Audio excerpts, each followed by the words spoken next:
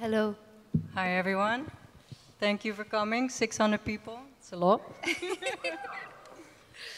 yeah, Crack Magazine. Uh, me and Femke wanted to talk to you about the collections that we recently did. Um, it's a publication by Crack Magazine. It's annual. Um, but for the ones that don't know Crack Magazine, I'll tell you a little bit about our history.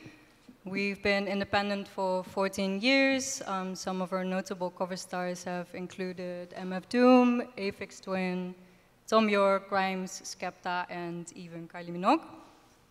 It was founded in Bristol in 2009 by Jake Applebee and Tom Frost. it was very much a DIY project with a strong independent spirit, and it has slowly grown into becoming one of the most trusted and respected voices in music without any corporate backing.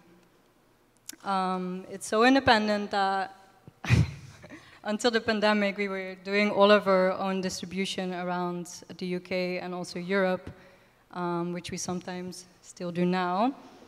Um, we've got one guy sending all of the magazines personally, personally to everyone with no sleep at all.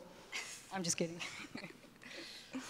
Um, I'm art directing Crack Magazine, and on this slide you see all of the covers that I was involved in. Um, for me, art directing for Crack is conceptualizing the overall visual narrative and choosing the best teams for the stories that we put out. And it's important for me to reflect the featured musicians' album's direction or their general visual mood. And I'll let Femke introduce her role. Um, yeah, so I'm the senior designer at Crack Magazine, and we work in a really small team. It's just me, uh, my executive designer Manu, and my junior designer Leia. And we cover absolutely everything from the print magazine, uh, which involves like bringing the shoots to life on the pages, as you can kind of see here. Um, all the way through to commissioning, designing, uh, illustrators and designers, and working on mini branding projects in the crack sphere and also for external clients as well. Um, so we're here to talk about the collections, which is the most recent publication that we just brought out. So we're just going to let this little intro video explain a little bit about it for you. This is the collections.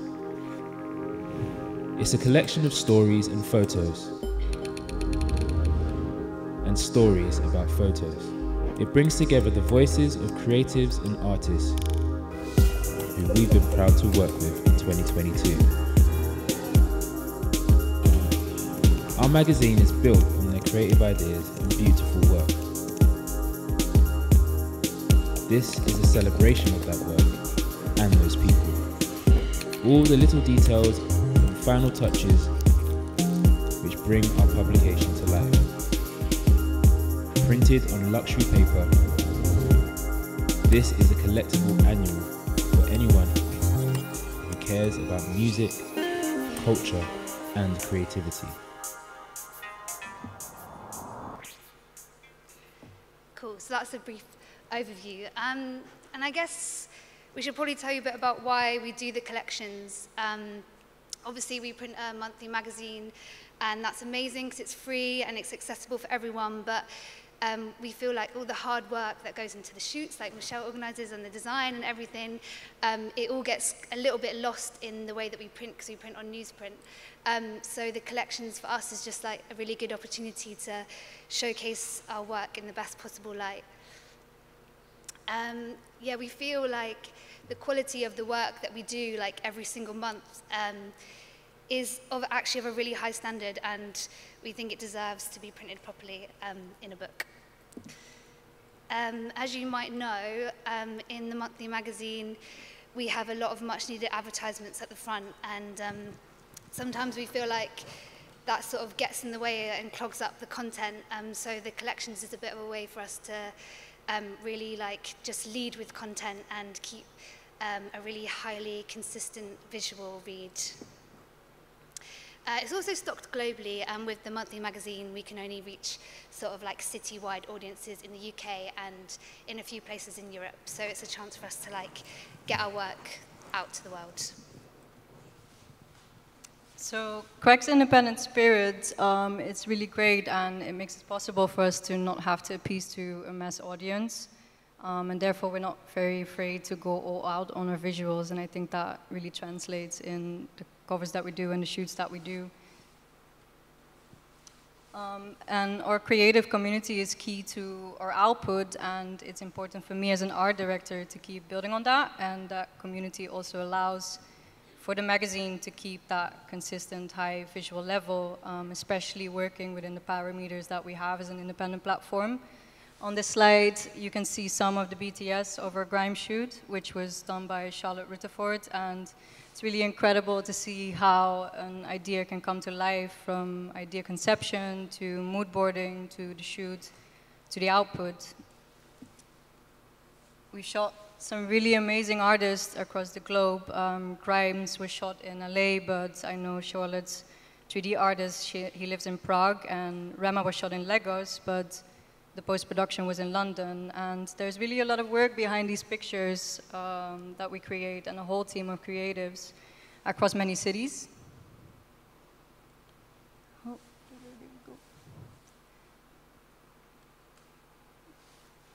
we rely heavily on these creative teams, and even more importantly, on our assistants. And oftentimes, we don't see how much work and production really went into these shoots. And like Fem says, we, we do this every month.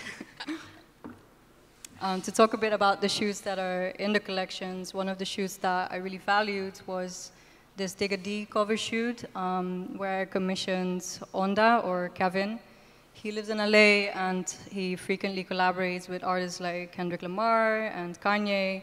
And as a reference for this shoot, he used my favorite artist, Shuji Terayama. Um, it's a movie called Smallpox as his reference, without us even speaking about it before. So I really love that alignment that we had, um, and I also love that Digga D wasn't really shot in this way before, um, which is an important part for me for the output. And here you can see um, Anunti on a shoot that we did, uh, really having fun with my team. Um, and it's important for me that the artists are comfortable on a shoot and they're having fun and they have a good time. And that's why I choose my team sometimes because I think that the artist and the photographer will have a really great synergy.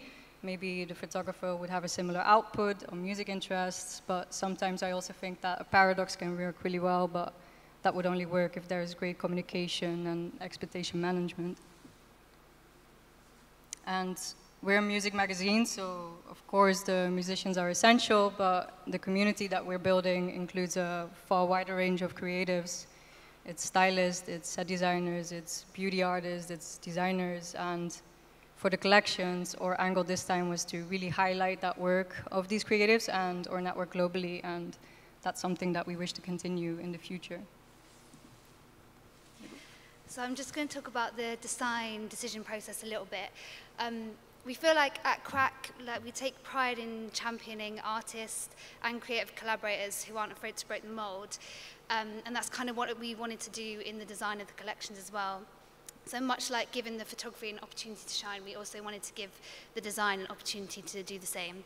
So we really went to town as much as we could within the budget restrictions that we have um, and pulled out all the effects we could. So we have silver Pantone ink on the cover, spot UV gloss, emboss and different paper stocks in the magazine.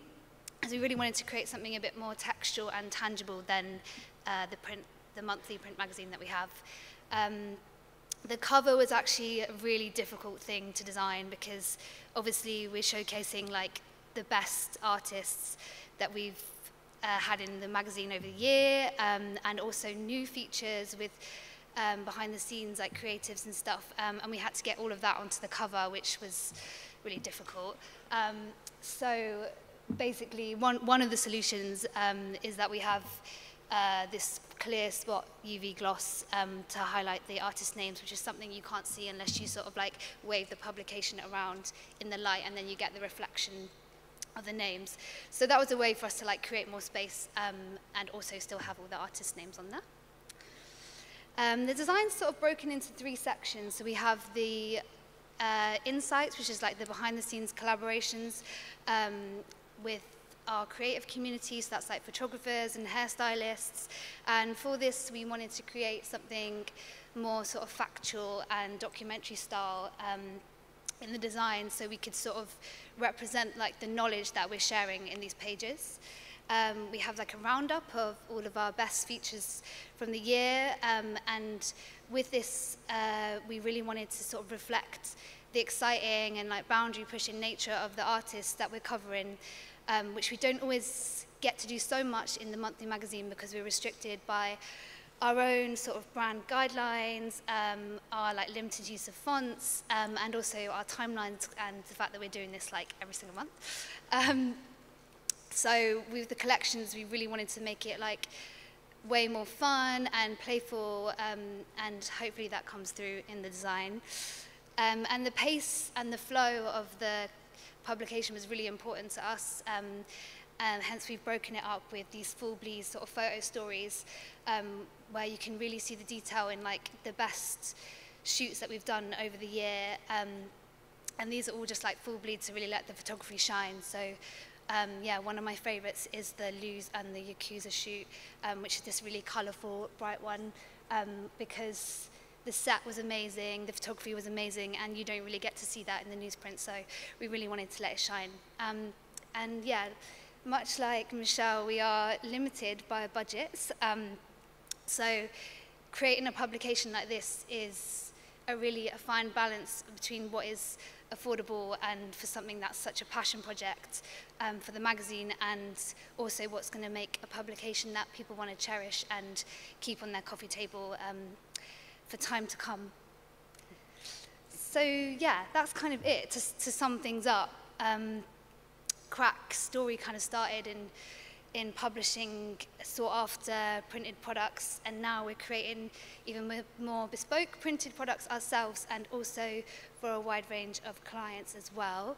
Um, and we just wanted to say if you did want to get in touch with us about the creative work that we do, um, then please email us on this email here.